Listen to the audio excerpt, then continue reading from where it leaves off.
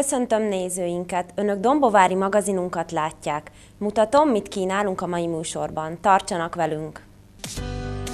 Duna Művész Együttes és Göncöl Zenekar Dombóváron. Nagy sikere volt az előadásnak.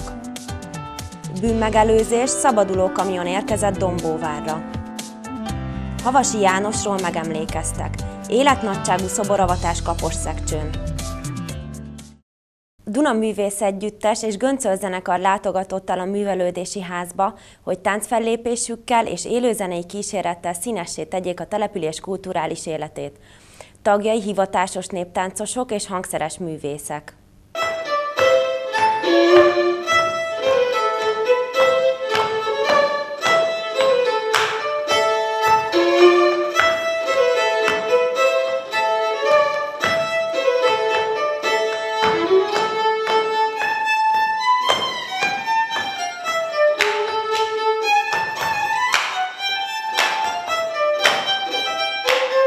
A Duna Művész Együttes sokarcúsága és művészi kifejező ereje igen magas színvonalon működik már régóta. A Művész Együttes Magyar Táncképek című előadása lesz látható. Ezt az előadást a Petőfi program keretében mutatjuk be több helyszínen, most ebben a hónapban, és ez az egyik állomásunk itt Dombováron. Duna Művész Együttes 1957-ben alakult, ma jelenleg 26 fős tánckarral dolgozunk, illetve 6 fős népi zenekar, akik az állandó kísérőpartner, kísérője a, a táncegyüttesnek.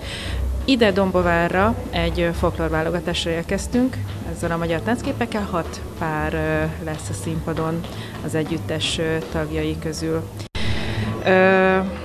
Közeljövőben, október 3-án lesz egy új előadásunknak a bemutatója a Nemzeti Táncszínházban. Ennek az előadásnak a Szerelemkert a címe, és ez, ez az előadás olyan koreográfiákat vonultat fel, ami, ami a szerelem témakörében született az elmúlt években, évtizedekben.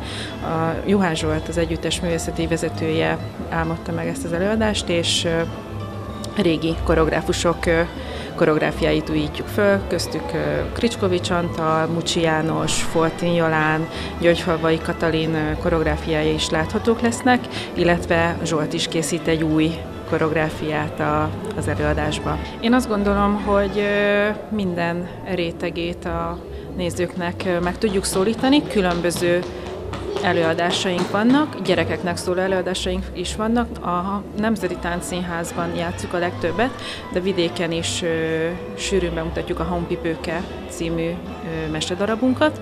Emellett pedig ö, rengeteg helyen megfordul a Kis Magyar Táncrajz rendhagyó néprajzi óra című előadásunk is, ami egy interaktív ö, néprajzi óra. Ebben ö, narrátor segítségével ismerkedhetnek meg a gyerekek a Kárpát-medence számos tájegységének táncaival, viseleteivel, szokásaival. Hangszerbemutató is van az előadásban. Úgyhogy én azt gondolom, hogy nem csak a középkorosztályt vagy az idősebb generációt tudjuk megszólítani az előadásainkkal, hanem specifikusan a fiatalabb generációnak. Itt a feladat az, hogy olyan előadás készüljön, amivel őket is el lehet érni.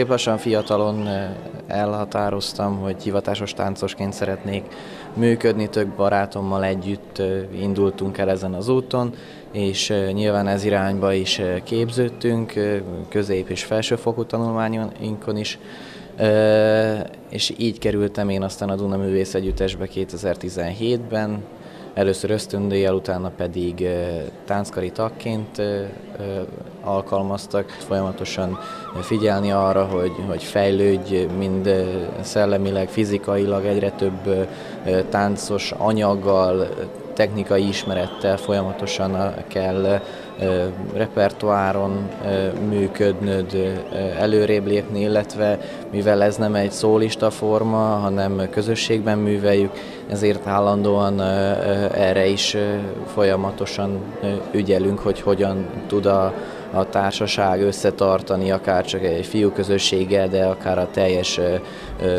tánckari tag, vagy a, a műszakkal, bárkivel, tehát e, ez is azt mondom, hogy nagyon fontos, hogy egy, egy jól működő közösségként tudjunk létrehozni előadásokat, legyen ez az ország bármely pontján bármilyen típusú műsor. Mindenkinek megvan a lehetősége, hogy abban, amiben ő ügyesebb vagy jobban érdeklődik egy-egy terület iránt, abban ő, ő meg tudja kapni a lehetőséget, és ki tud bontakozni. Ez nyilván az együttesnek is jó, hogy ennyi féle ember tud forogni, nem mindig egy-egy emberre kell minden terhet rátenni. Tehát azt gondolom, hogy, hogy táncosként ez egy, ez egy jó, jó terület, jó jó irányba mozgunk. Az, hogy egy, egy műsor, egy előadás jól sikerül, ott megkapjuk rögtön a visszacsatolást a, a tapsba, akár, vagy az utána, eh, ahogyan a közönség. Előfordul, hogy utána még össze is futunk a folyosón, és akkor még gratulálnak.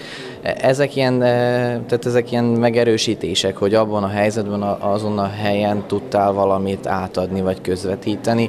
Eh, viszont azt gondolom, hogy az alapvető motivációnk az, az eh, máshonnan kell fakadjon, mert egyébként ez nem lenne csak elég arra. Nyilván egy széles, nagymúltú gyökerekkel rendelkező kultúrát ápolunk, éltetünk, teszünk más formába, és ez kell legyen az alapvető motivációnk táncosként, hogy, hogy igenis előrébb tudjunk menni ezzel, előrébb tudjunk mutatni, a, a, a múltunkból mindig tudjunk merítkezni, ezzel tudjunk újra létrehozni. Tehát én azt gondolom, hogy, hogy ez a, ennek a gyökérnek az ápolása és a, a folyamatosan életben tartása az, ami kell, hogy motiváljon minket.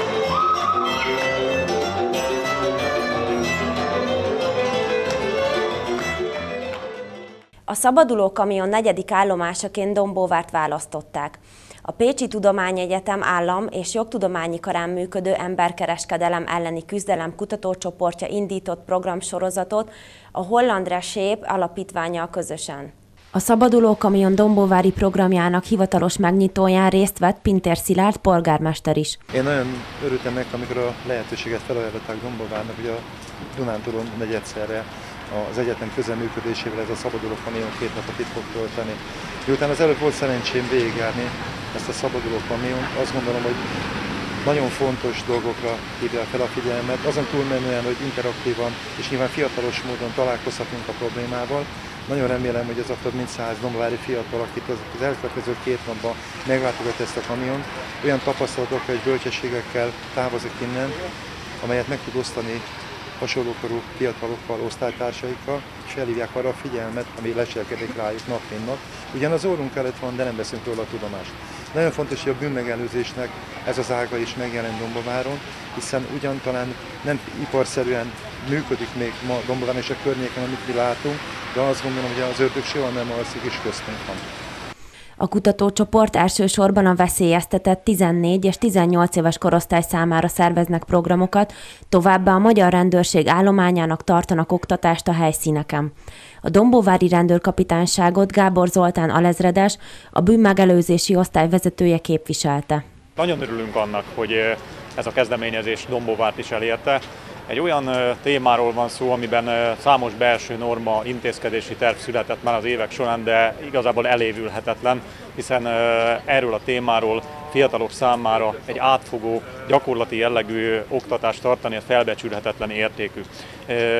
Az időre tekintettel azért remélem, hogy minden meghívott vendégünk el fog jönni, és itt tud lenni a, a mai napon, főleg a középiskolásokra számítok, és őtőlük is inkább a kortás oktatóinkra, meggyőződésem szerint tovább fogják tudni majd adni azt az ismeretanyagot, amit itt megszereztek a társaiknak, hogy azok, akik ma esetleg távol maradtak, akár a rossz idő, akár egyéb elfoglaltság miatt, szintén részesüljenek ebben az élményben. A polgármesteri hivatal előtti parkolóban volt kipróbálható az interaktív tanuláson alapuló módszereket alkalmazó szabadulókamion, amelynek célja az emberkereskedelem veszélyeire való figyelemfelhívás. Kezdőállomásunk Győrben volt, aztán Budapestre mentünk és Kaposvárra, ezen a héten folytatjuk Dombóváron, majd Komlón és Pécsen zárjuk az eseményünket. Ezt a kamiont, ezt a bűnmegelőzési eszközt a holland rendőrség megbízására, illetve egyéb holland kormányzati szervek megbízására a Rissép elnevezésű alapítvány készítette Hollandiában. A célja az, hogy Hollandián kívül olyan országokban folytasson bűnmegelőzési programot, amelyekből tipikusan Hollandiába sok áldozat érkezik, akik az emberkereskedelem ben érintettek, akik az emberkereskedelemnek esnek áldozatul. Kamionban egy illegálisan működő bordélyházba nyernek betekintést a résztvevők. A program célja, hogy bemutassuk azt, hogy a, az emberkereskedelemnek, vagyis a, a prostitúciónak nem csak az a pozitív velejárója lehet, amivel próbálják hitegetni az áldozatokat, hogy ezzel mennyi pénzt lehet keresni, hanem lássák azt is, hogy milyen negatív következményekkel, súlyos problémákkal jár az, hogyha valaki bekerül a kényszerprostitúciónak a gyűrűjébe. A résztvevők általában élvezni szokták a játékot, de mindemellett pedig meglepődnek és tulajdonképpen átérzik a súlyát ennek a cselekménynek, így általában az a általában pozitív eredményt szoktunk visszahallani, hogy emlékeznek a történetre, megértették az üzenetet, amit átadni kívántunk nekik, és mindemellett a játék élmény mindig megmarad. Kaposszekcsön felavatták szeptember 15-én Havasi János, Herceg Ferenc díjas újságírónak a Duna Média Szolgáltató Nonprofit ZRT idén májusban elhunyt rádiós média szolgáltatási igazgatójának egész alakos szobrát, ahol a főteret is róla nevezték el. A Kapos Szekcsői Evangélikus templomban rendezett emlékezésen Potápi Árpád János nemzetpolitikáért felelős államtitkár Tolna vármegye kettes számú választókerületének országgyűlési képviselője kiemelte, Havasi János szívügyének tekintette a hazai nemzetiségek sorsát, a határon túli magyarok felkarolását. Havasi János kiállt a magyarságért, az igaz szóért, a nemzetért, ami egyszerre jelenti valamennyiünk jelenét és jövőjét. A templomban Horváth Kálmán Tolna vármegye főispánya és méltó beszéddel készült. Tolna vármegye, de elsősorban Kapos szekcső életében ez egy nagyon fontos esemény volt ez a mai délelőtti megemlékezés. Dr. Havasi Jánosról emlékeztünk meg a templomban, illetve szoborobatásra és térelnevezésre került sor és ennek nagyon-nagyon fontos jelentősége van, hiszen dr. Havasi János magyarországi mércével mérve is az egyik legjelentősebb újságíró, író, akiről én azt gondolom, hogy halála után illő volt ez a megemlékezés. És ez azért is nagyon érdekes, mert az ötletgazdák és a mecénások halálát követően nagyon gyorsan előálltak ezzel az ötlettel. Nyilván ez is megerősíti azt, hogy Havasi János Magyar, Magyarország szempontjából és a mi vidékünk, a mi kis hazánk életében egy nagyon fontos személyiség.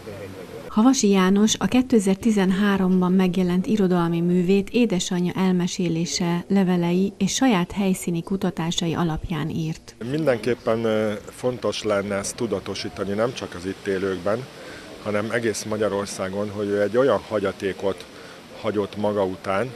Ezt én el akartam mondani, csak aztán mégsem mondtam el a beszédemben. Én javasolnám azt, hogy ezt a, az ő művét, a, a Lánykák az idő eljárt, illetve a belőle készült nagy hatású Öröktél című filmet középiskolában mindenképpen tanítani kellene, hiszen ez egy olyan alkotás, ami pillanatnyilag, vagy ehhez fogható elég kevés van, és tulajdonképpen a, a magyarországi németeknek a 44-45-ben történt meghurcoltatásáról szól.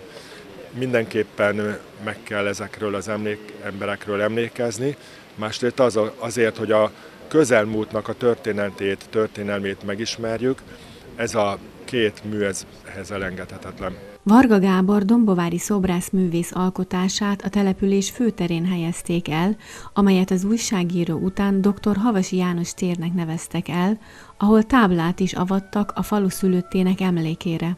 Havasi Dezső elmondta nekünk, hogy mit érez ikertestvéréről készült szobor avatását követően. Ha szoborra nézek, akkor ugye elvileg eh, magamat látnám Jánosban is, és, és egy, egy, egy nagyon megnyugvással, nagyon nagy örömmel, és, és nagy hálával annak a közösség irányában, aki ezt a szobrot állította, és testvéremről teret nevezett el, azoknak a nagy lelkű szponzoroknak, mecénásnak segítségével, és ilyen neves szobrászművész alkotásával, mint Varga Gábor.